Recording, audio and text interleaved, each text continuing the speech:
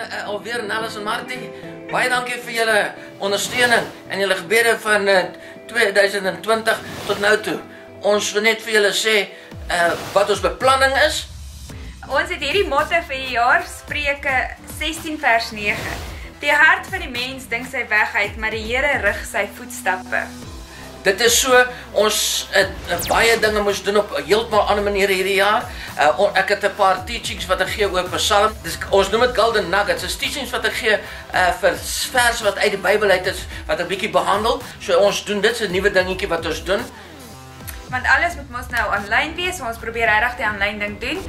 As die grendeltyd gelig word, het 'n paar kerke ons ook genader om die E3 aan te bied by hulle. Ge geopende deure het uh, natuurlik nou op 'n ander manier probeer dinge doen want die kerke is toe en ons mag nie meer inkom nie, maar ons is besig in te wag want soos jy hoor God rig die weer, nie ons as mens nie.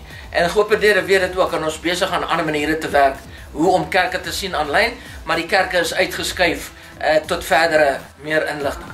Ons is ook opgewonde om Bybels vir mense te gee soos ons ontmoet en dan die evangelie met hulle te deel en die traktaatjie van is jy seker vir hulle te gee as ons nie genoeg tyd het nie. En dan natuurlik elke klop aan die deur soos nou is vandag gebeur het, is ons ook daar om altyd raad te gee en gebede te gee in hierdie tyd. Vir hulle wat siek is en wat miskien 'n eh, nie eh, goed voel nie en voel dat God hulle verlaat het in die tyd, is ons ook beskikbaar. Ons gaan natuurlik voort met ons WhatsApp groepies. Ons ja. het 'n paar WhatsApp groepies wat ons by die skool gestig het, omdat ons hulle nie meer sien nie. En ehm um, so ons stuur hulle twee keer 'n week 'n devotional wat hulle saam met ons deurgaan. So die WhatsApp groepies gaan ook nog aan.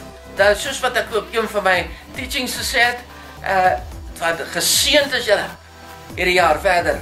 Baie dankie eens.